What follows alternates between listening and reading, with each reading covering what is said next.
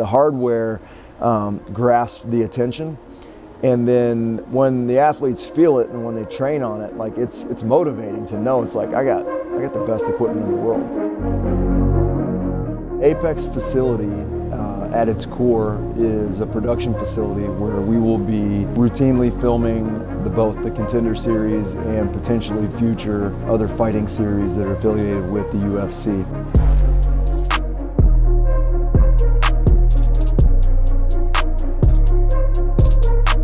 Sorinex is always going to be high on our list for a couple things. One, obviously, there's, there's a, a, comfort there with reliability. Everything that we do has a custom feel to it. Um, the other side is durability. Like, we're going to beat the crap out of it. Um, so I need stuff that I, I don't want to have to replace it every three to five years, which is what a lot of manufacturers will tell you. You know, 10, 15 year lifespan. This is our third facility that we've built the, since the beginning of the PI, our second that we've done with Sorinex, um, and we're not going to stop. This company is hungry, so as we continue to build, I can't keep replacing and fixing these other facilities. I need them to last. And so the peace of mind of knowing that once this thing is done and it's operational and we're training in it, I don't really have to think about putting band-aids on stuff for 10 to 15 years we can focus on the new project, the next project. That bag frame that we're putting in here at the PI Apex, uh, again, is just a, a one-of-one piece.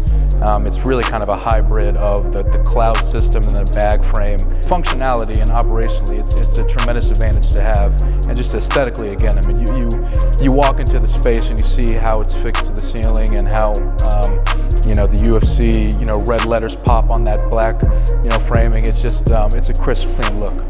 Look, what we were able to deliver and, and put in place in Shanghai, you know, working with Sorinex for that project, we said, wow, like what we've just put together, what we've built, what we've now provided for the next generation of mixed martial artists, it's premier, it's top drawer. And, you know, one of the first calls that we made was the team at Sorinex. Um, look, we got a quick turnaround time.